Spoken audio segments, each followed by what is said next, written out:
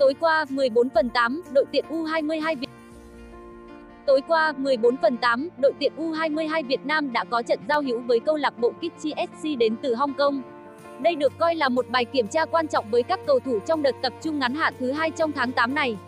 Với việc tung ra đội hình mạnh nhất với nhiều cái tên đáng chú ý như Martin Lo, Trần Danh Trung hay Nhâm Mạnh Dũng, U22 Việt Nam dễ dàng có một thế trận lấn lướt trước Kitchi.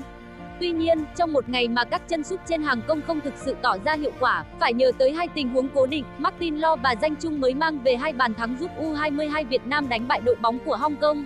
Trả lời phỏng vấn sau khi trận đấu kết thúc, huấn luyện viên trưởng Vlad Liskovic của Kitchi thừa nhận U22 Việt Nam ở một đẳng cấp cao hơn hoàn toàn so với các cầu thủ của ông. Chúng tôi đã đối mặt với một đối thủ rất mạnh và không thể thi đấu cùng đẳng cấp với họ.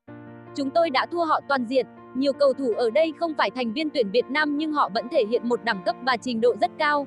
Đó là sự ngạc nhiên rất lớn với tôi. U22 Việt Nam có nhiều cầu thủ kỹ thuật xuất sắc.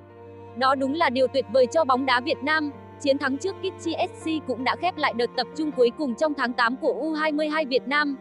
Theo kế hoạch, đến đầu tháng 9, đội tuyển sẽ tập trung trở lại và sẽ có một trận giao hữu rất đáng được chờ đợi với U22 Trung Quốc vào ngày 8 tháng 9 tới.